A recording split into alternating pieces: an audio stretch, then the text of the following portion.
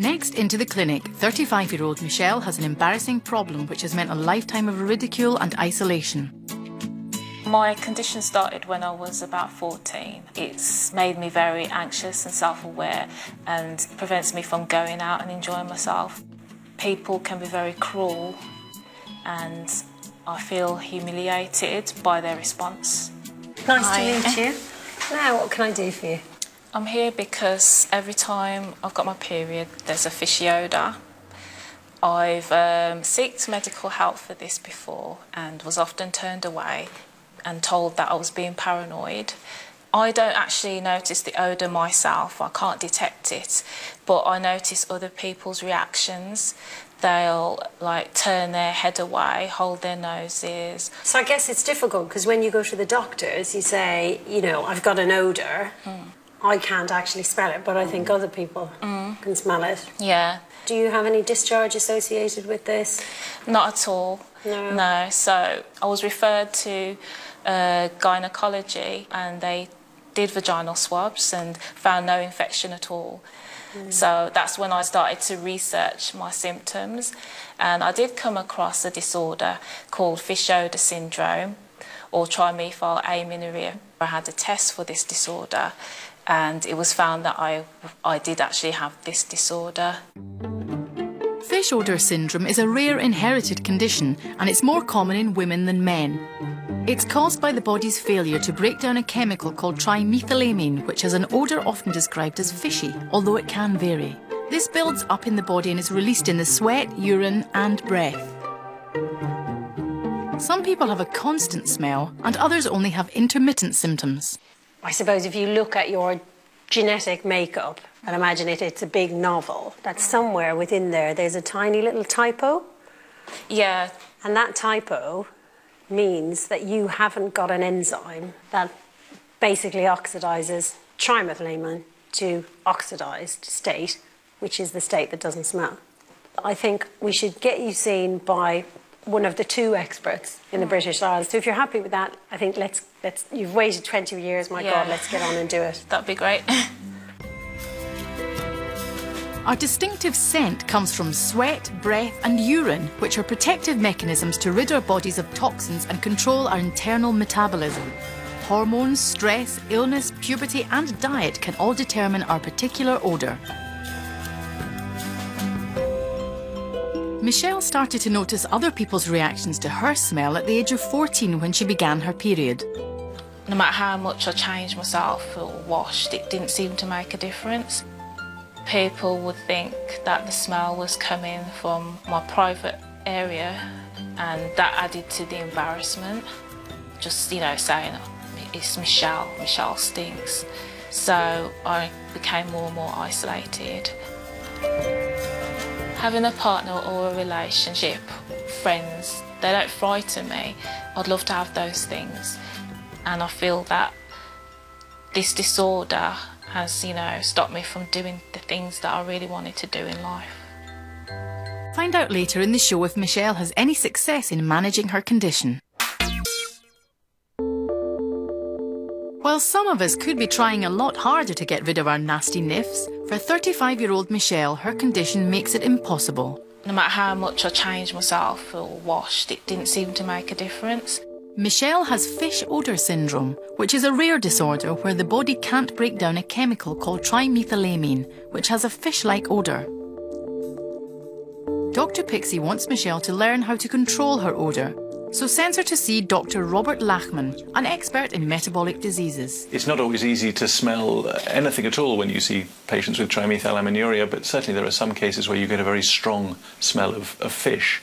But in other cases, it isn't necessarily fish, and the smell can be described as a lot of different things. Uh, certainly, um, sewage, sort of a fecal odour, can be uh, associated with it as well. Trimethylaminuria is diagnosed by looking at the levels of trimethylamine in the urine.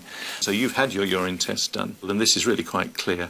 Um, the trimethylamine is really very high at 45.3, and the upper limit of the normal range is about 11. Right. Okay. So that would be giving off a really strong odour at that point. Yeah, absolutely. Was this taken during one of your periods? Yes. Yeah. So although we don't have any cure for the disease because we can't make the enzyme work properly again, uh, we can treat it. And the first way to do that is try and do it by diet And so if you follow a diet that's low both in trimethylamine and in choline, hmm. then that'll reduce the amount of trimethylamine coming into the body from the gut. Trimethylamine is only present in fish, but bacteria in the gut can make it from a chemical called choline, which is present in many foods such as eggs, soya, and some meats. As well as a controlled diet, other things that can help manage the condition are antibiotics to reduce the bacteria in the gut, probiotic tablets with friendly bacteria, tablets containing charcoal that bind the trimethylamine to the gut, and riboflavin, which can boost the enzyme activity. Okay, so what I suggest we do then is coming up to your next period, maybe for a day or two beforehand, you try following the diet through your cycle and then send another urine sample during that period, and hopefully Okay. the TMA levels will then have come down, and then we can um, see you again, uh, let you know the results. Right, thank you. Good. See you next time. I think Michelle's story is very typical for patients with this disease, and the disease and the symptoms have had a huge effect on her life. She's really not been able to hold down a job to form the sort of social relationships that the rest of us regard as absolutely normal. And obviously, that has a terrible effect on people's life. And when the disease is actually potentially curable, it's obviously sad that it's taken so long for it to be diagnosed. Find out later if Michelle can get her fishy odour under control.